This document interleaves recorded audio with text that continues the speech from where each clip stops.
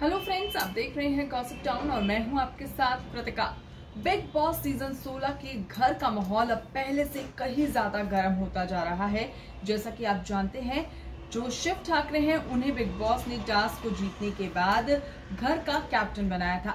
लेकिन अब जो शिव ठाकरे हैं, उनकी कैप्टनसी के बीच जो कंटेस्टेंट्स हैं, वो उनकी बात नहीं मान रहे हैं। शिव ठाकरे प्रियंका को ड्यूटी देते हैं और यहाँ तक कि वो अर्चना को मना करते हैं कि तुम्हें इस वक्त नहीं सोना है, लेकिन दोनों सोती रहती हैं। यहाँ तक कि जब शिव ठाकरे प्रियंका को कहते हैं कि तो तुम लंच बनाने जा रही हो तो इस पर प्रियंका उन्हें दो टुक जवाब दे देती है और बोल देती है कि मैं खाना बनाऊँगी, मैं ड्यूटी करने से मना नहीं कर रही हूँ, लेकिन मैं कब बनाऊँगी, ये मैं नहीं बताऊँगी। और इस बारे में मैं कुछ भी बात नहीं करना चाहती हूँ।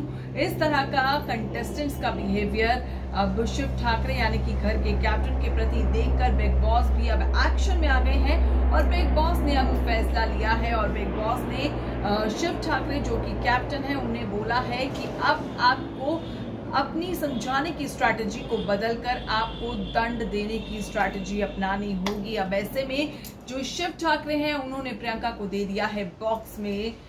बैठने का पनिशमेंट और इस पनिशमेंट के मिलते ही प्रियंका काफ़ी हैरान हो गई है। घर वाले भी काफ़ी ज़्यादा सख्त में आ गए हैं। हर किसी को शौक लग गया है, लेकिन यहाँ पर सवाल ये उठता है, क्या वाकई में प्रियंका इस सजा के बाद अपने तेवरों को बदल देगी? क्या वो शिव ठाकरे से अब नहीं करेगी कोई भी बगावत? या फिर अब प्रियंका खेलेगी अपना कोई नया दाव जो कि शिव पर पड़ सकता है? भारी कैसा लगा आपको वीडियो? कमेंट में ज़रूर बताएँ। इस वीडियो में इतना ही।